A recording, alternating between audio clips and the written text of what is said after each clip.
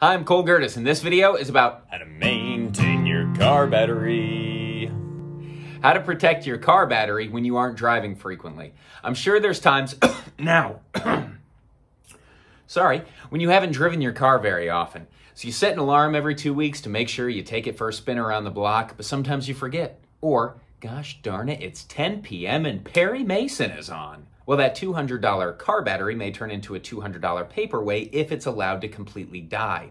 But luckily, you have options. The first one is if the car is going to be sitting completely idle for months at a time, you can completely disconnect the battery from the terminals.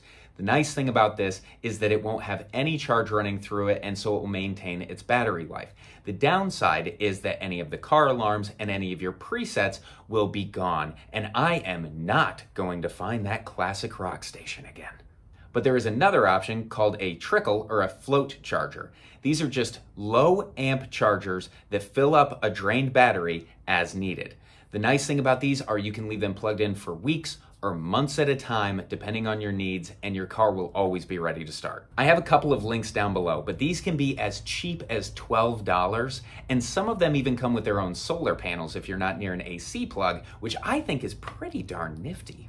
I happen to have a heavy duty multi-amp charger because tools are toys and toys are fun. Nice thing about this guy is it can quick start a car like a jumper cable or it can be used as a slow trickle. For the slow trickle option, I leave it on the 10 amp setting and leave it plugged in. Now mine needs to be connected to the red positive terminal and a grounding screw on the body of the car.